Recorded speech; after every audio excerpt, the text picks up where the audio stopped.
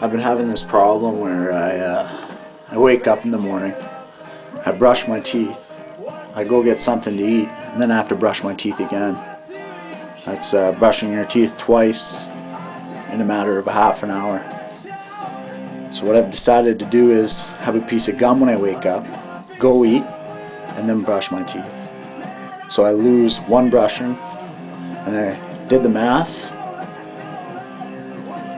If I live to be 80 years old, that's an extra five days.